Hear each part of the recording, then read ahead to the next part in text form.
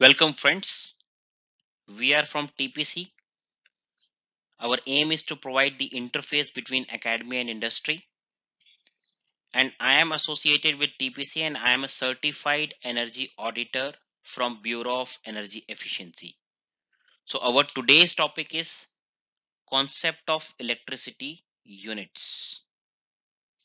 So before going deep into this topic, I would like to thank each one of the individual for subscribing our channel, for viewing our older videos, for giving your likings. And also I would like to thank the persons who are aspiring to view our videos on YouTube.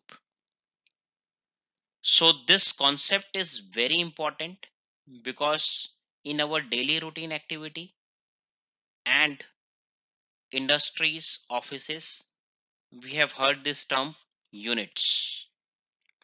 Unit is something in which electricity is getting recorded. So if you consume electricity the supplier will give you the bill in terms of unit.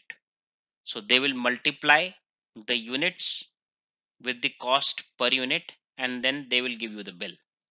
So it's very relevant and a very interesting topic to understand in unit there are two terms that is kilowatt hour or kVAH.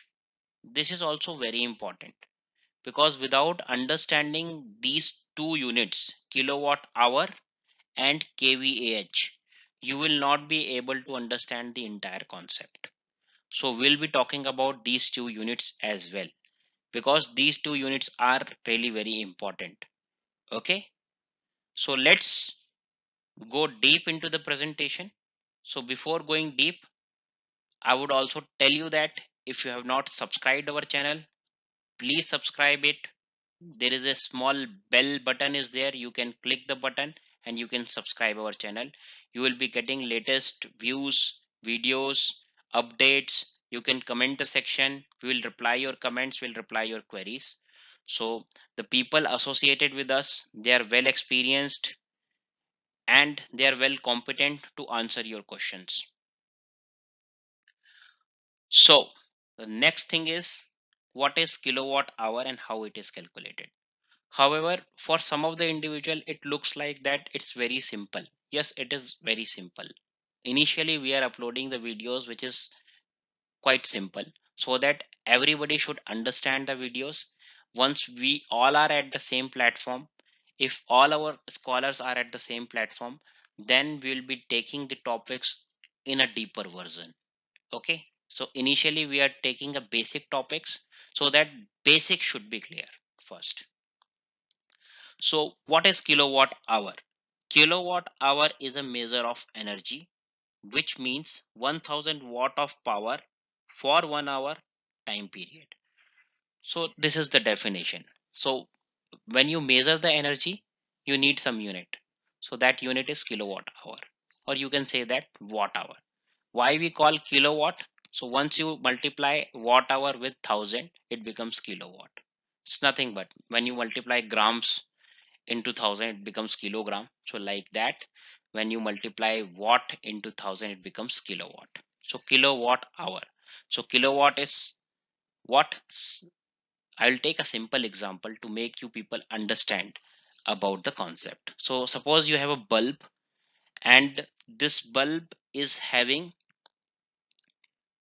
the capacity of 100 watt so 100 watt bulb is there and it is running for 10 hours so if you do the multiple of watt into hour you will get the unit consumption so here how much unit consumption it is coming 1000 watt hours okay so 1000 watt hour is the unit consumption which we call it as 1 kilowatt hour okay and which we call it as one unit.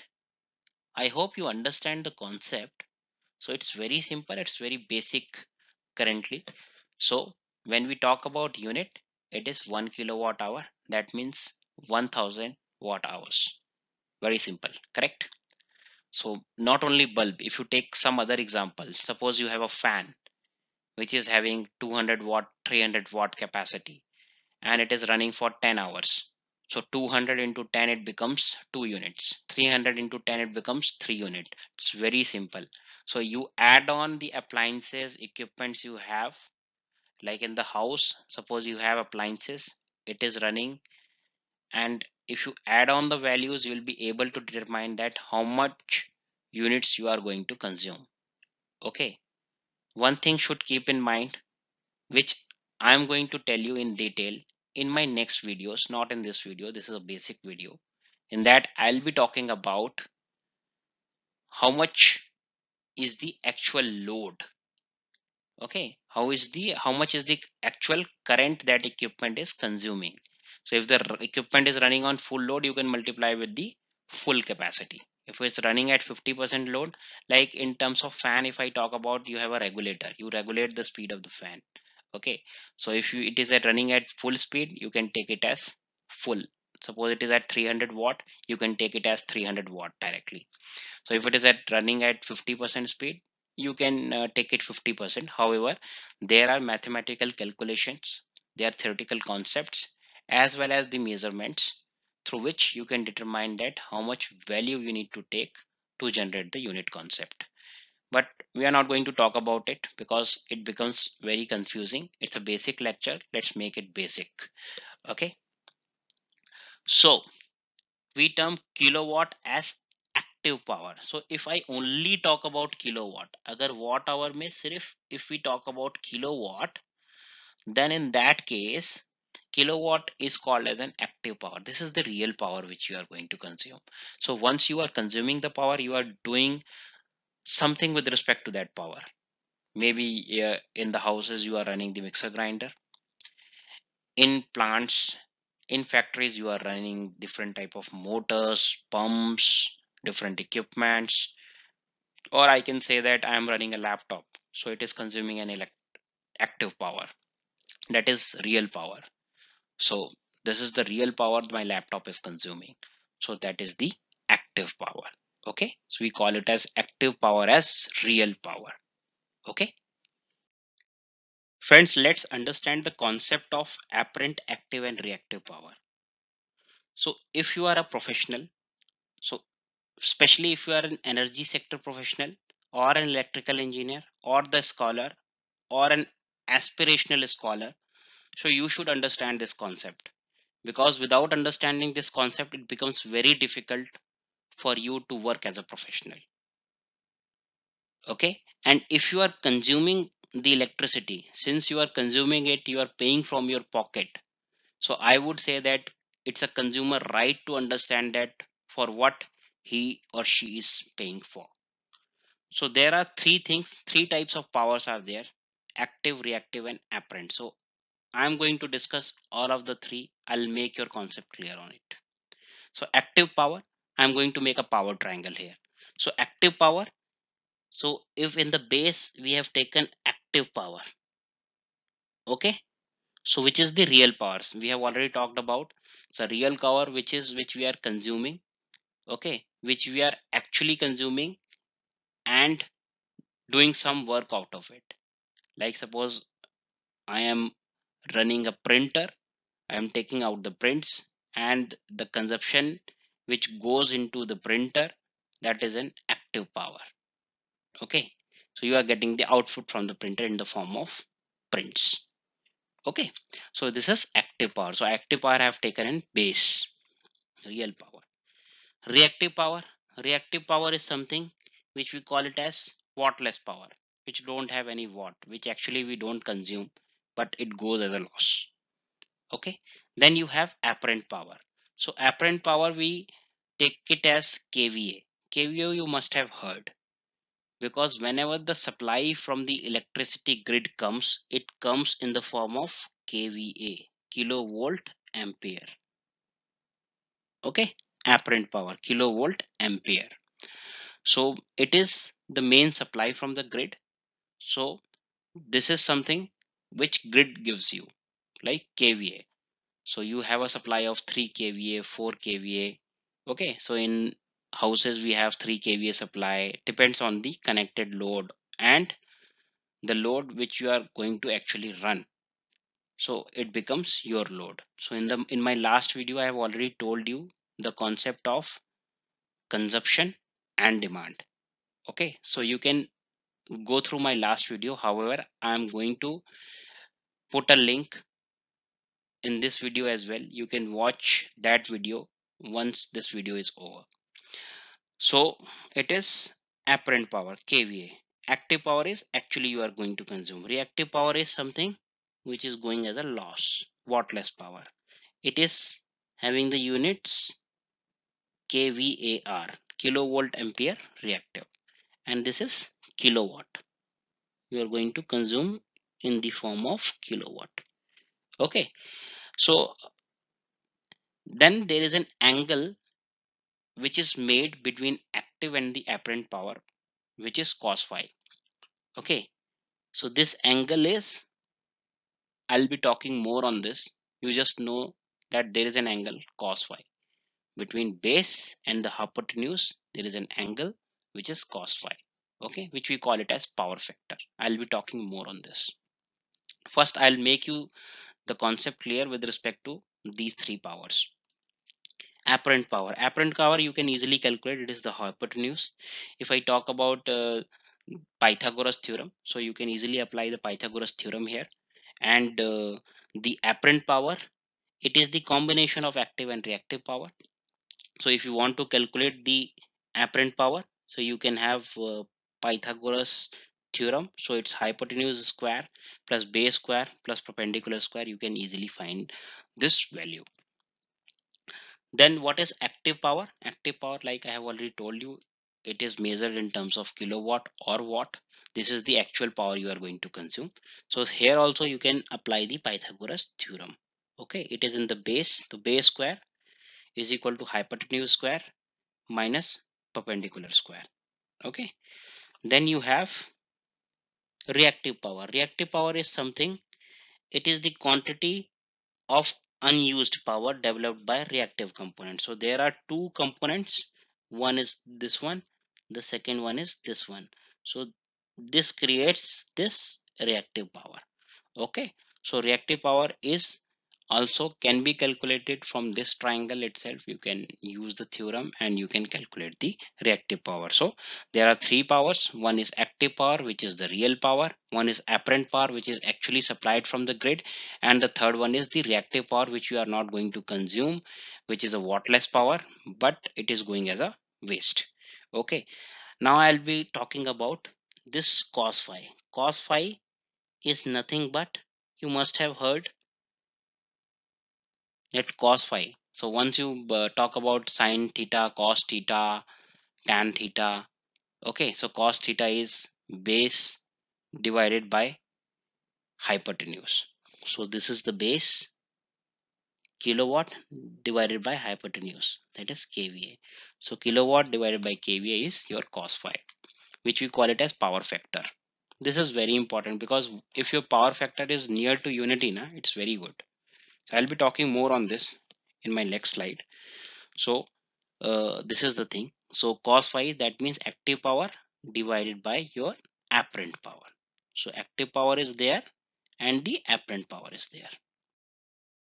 Understanding billing. So there is something nice going to happen viewers. Uh, I am going to serve you with the beer here the beer glass jumping in into the presentation you can see in the video. So it's not something i'm going to serve you today. Take it easy. It is only for the example purpose i have taken here. So to make your concept uh, easily understandable i have taken this as an example. So you have a beer bottle.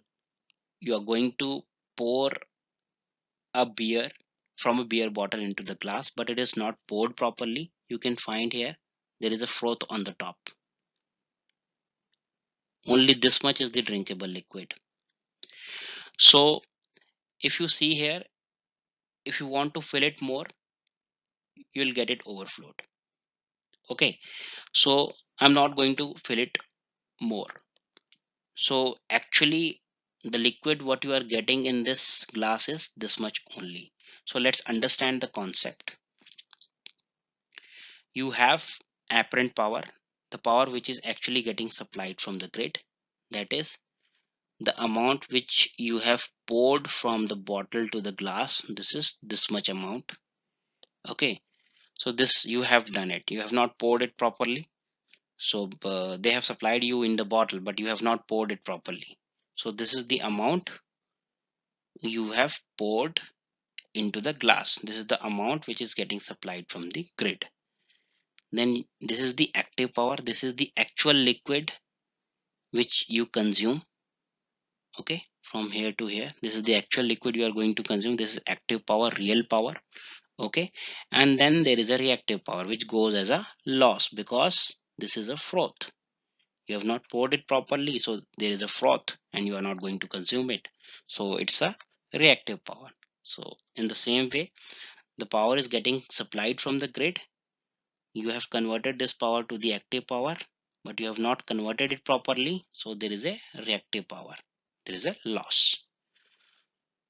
So let's understand the concept of billing with respect to in which terms the billing used to happen. So there are two ways. One is kvah billing. The second one is kwh billing which we call it as active power billing.